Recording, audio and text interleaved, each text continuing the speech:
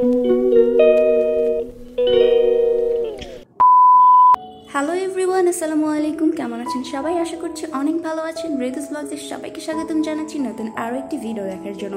আমি ঋতু বৃষ্টির দিনে হাজির হয়ে গেলাম নতুন আরও একটি সুন্দর রেসিপি নিয়ে। এই রেসিপিটি আমার আপু তৈরি করেছেন। তো চলুন, এই রেসিপিটা আসলে কি?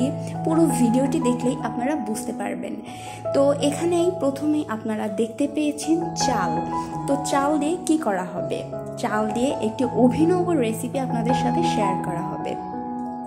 আজকে সম্পূর্ণ একটি ভিন্ন চাল ভাজার রেসিপি আপনাদের সাথে শেয়ার করব, যে রেসিপিটি আমার আপু তৈরি করেছেন। তো চলুন, কীভাবে এই রেসিপিটা আমার আপু তৈরি করেছেন দেখে নেওয়া যাক। প্রথমেই এখানে নিয়ে নিতে হবে ভাতের চাল। ভাতের চালটা আগে থেকেই খুব ভালো মতো ধুয়ে পরিষ্কার করে পানি ঝরিয়ে নিতে হবে। এরপরে স্বাদ মতো লবণ দিয়ে ধোয়া চালটাকে খুব ভালো মতো হাত দিয়ে মাখাতে হবে কিছুক্ষণ। চালটা খুব ভালো মতো মাখানো হয়ে গেলে চালটা খুব ভালো মতো ভেজে নিতে হবে মিডিয়াম আঁচে। জোরে আঁচ দিয়ে ভাজতে যাবে না, তাহলে কিন্তু চাল ভাজা পুড়ে যাবে। মিডিয়াম আঁচে চাল ভাজলে সেই চাল ভাজাটা একদম মুড়ির মতো হয়। দেখতেই পাচ্ছেন চাল ভাজার লুকটা ঠিক এরকম আসবে।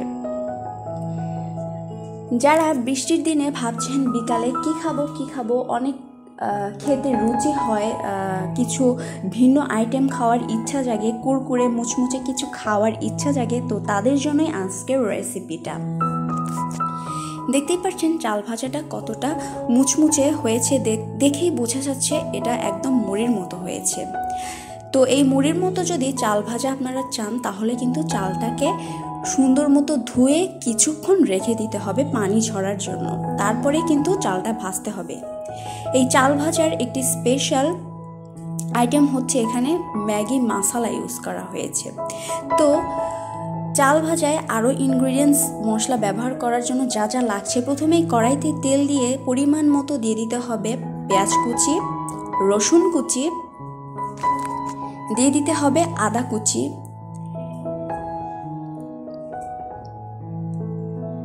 দিয়ে দিতে হবে অনেকটা কাঁচামরিচ কুচি। এই ইনগ্রিডিয়েন্টসগুলো অবশ্যই লাগবে এই চাল ভাজা তৈরি করতে। এই সমস্ত ইনগ্রিডিয়েন্টসের একটাও বাদ দিলে চলবে না। আমি আবারও বলে দিচ্ছি, তেলের ভেতর পেঁয়াজ কুচি, রসুন কুচি, আদা কুচি, মরিচ কুচি দিয়ে খুব ভালো মতো ভেজে নিতে হবে।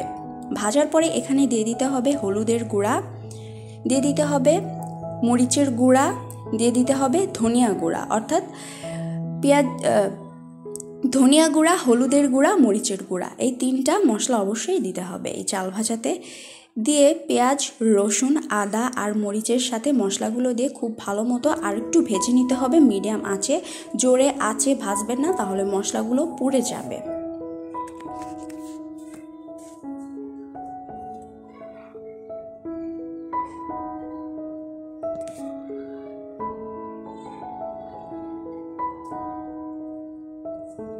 মশলার সাথে পেঁয়াজ, কাঁচামরিচ, রসুন আর আদা ভালোভাবে ভাজা হয়ে গেলে এর মধ্যে দিয়ে দিতে হবে আগে থেকে ভেজে রাখা মুচমুচে চালগুলো। চালের সাথে সমস্ত ইনগ্রিডিয়েন্টস খুব ভালো মতো মেশাতে হবে। অনেকক্ষণ নাড়াচাড়া করে চালের সাথে সমস্ত মশলা যাতে মিশে যায়, এই জন্য ভালোভাবে নাড়াচাড়া করতে হবে কিছুক্ষণ। এই সময় চুলার আঁচটা একদম লোতে দিয়ে রাখতে না হলে কিন্তু সমস্ত মশলা, পেঁয়াজ, রসুন, আদা সব পড়ে যাবে। এই জন্য সমস্ত মশলা অ্যাক্টিভ রাখার কারণে চুলার আঁচটা একদম লোতে রাখতে হবে। কিছু টিপস অ্যান্ড ট্রিক্স ফলো করলে কিন্তু খাবারের মান অনেক বেশি উন্নত হয়।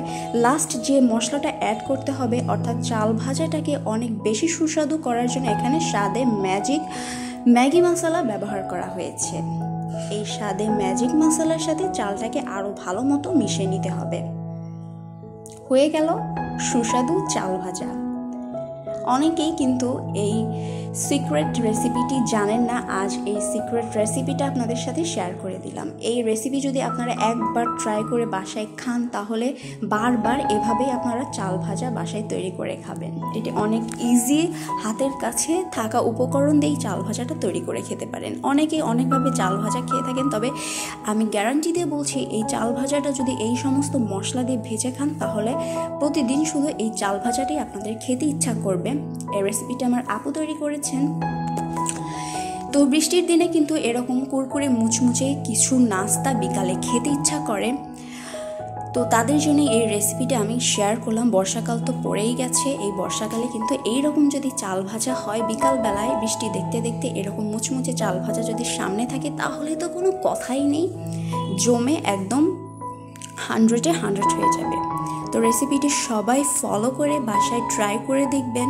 আর যদি ভালো লাগে, অবশ্যই কমেন্ট করে জানাবেন যে রেসিপিটি কেমন হয়েছে। কমেন্ট করে জানালে আমরা বুঝতে পারি আসলে আমাদের রেসিপিটা ভালো হয়েছে কি না মন্দ হয়েছে। আপনারা আপনাদের মূল্যবান কমেন্টে আমাদের জানাবেন। তো ভিডিওটি ভালো লাগে একটু শেয়ার করে দিবেন, আমাদের ইউটিউব চ্যানেলটিকে সাবস্ক্রাইব করে দিবেন ফেসবুক পেজটিকে ফলো করে দিবেন। যদি এই চাল ভাজাটা মাস জুড়ে সংরক্ষণ করতে চান, তাহলে এইভাবে এয়ারটাইট কন্টেনারে রেখে দিবেন। এই এয়ারটাইট কন্টেনারে যদি চাল ভেজে রাখেন, তাহলে আপনারা এক মাসের জন্য এই চাল ভাজাটা কিন্তু নির্দ্বিধায় খেতে পারেন। যখন খুশি তখন বের করে খেতে পারেন। তো সবাই ভালো থাকবেন, সুস্থ থাকবেন। আমার আর আমার আপুর জন্য অনেক বেশি দোয়া করবেন, যাতে করে নতুন নতুন কন্টেন্ট আপনাদের উপহার দিতে পারি। সবাই আমাদের চ্যানেলে চোখ রাখবেন, সুস্থ থাকবেন সবাই। আল্লাহ হাফিজ।